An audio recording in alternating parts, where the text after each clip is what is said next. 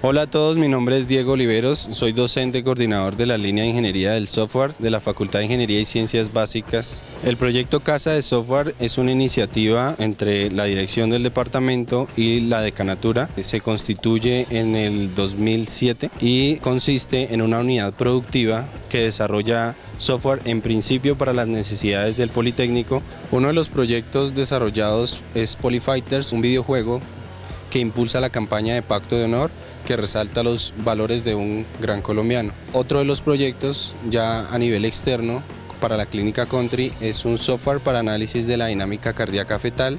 Digamos que todos los desarrollos que se hacen de casa de software pues son impulsados con estudiantes que pertenecen a la Facultad de Ingeniería y Ciencias Básicas, especialmente los estudiantes de semillero de investigación.